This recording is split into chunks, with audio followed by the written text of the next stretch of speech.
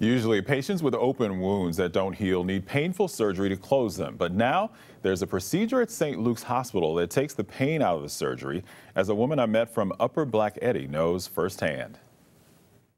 He's a good cat. He snuggles with me. Priscilla Tensman says her cat Soshi is a sweetheart, even after he did this to her leg. It happened when Priscilla extended her leg to keep Soshi from going outside. The cat got caught in her robe. When he was clawing to get out from underneath my bathrobe, my leg got in his way. Stitches healed cuts on the back of her leg nicely, but the open wound on the front needed more.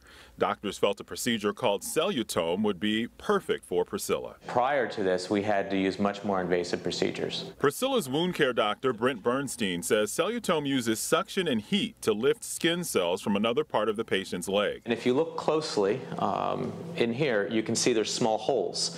And the suction and the heat accelerate the formation of very tiny blisters through those holes. Then a sticky dressing transfers those blistery skin cells from this disposable device onto the wound. What's great about this procedure is you don't need anesthesia, it doesn't leave a scar behind, and you're in and out of the doctor's office in about an hour. Four weeks after cellutome, Priscilla's egg-sized wound looked like this. Here's eight weeks.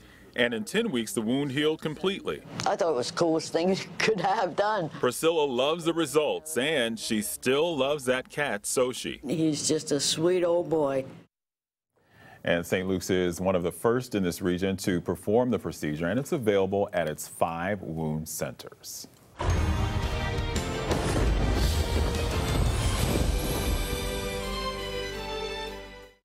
Cool procedure. Yeah, it is. Mm -hmm. um, mm-hmm. there was a woman that had a wound on her nose and she was about to have a baby. So it came in perfect timing that they were able to do this for her because they closed up the wound and she was able to take pictures with her newborn. Oh, wow. wow. Yeah, it's amazing. Six weeks before. How quickly, right? Yeah. Yeah, yeah real good. something else. Wow. Mm -hmm. Good little reporting there. Yeah. Thank you. It was fantastic. I like to venture it. out once in a while. Yeah, you nothing, did a great job. Nothing wrong